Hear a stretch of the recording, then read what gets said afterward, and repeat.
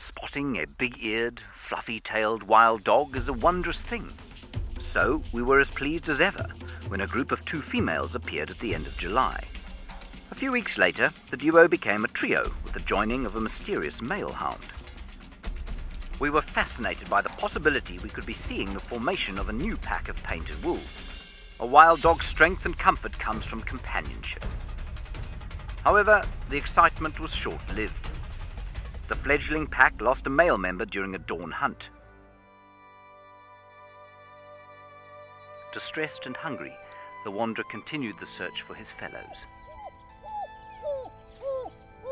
He put his mouth close to the ground, making his mournful cries echo through the woodlands.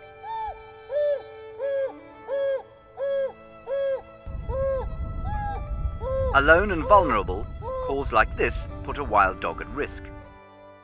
He had little choice but to wander on, determined, into the darkness. Right, everyone, I'm going to leave him be. Alright, so we're just going to let him trot gently around the corner there and bid him a fond farewell. Are you addicted to Africa? Well, click subscribe and you can stay hooked to all the wild moments.